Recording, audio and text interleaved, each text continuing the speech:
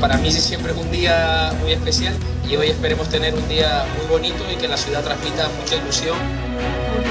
La cultura y el ocio nos sirven de excusa para que las familias de toda la isla, de toda Canarias, disfruten de una ciudad animada, una ciudad que no para durante todo el día.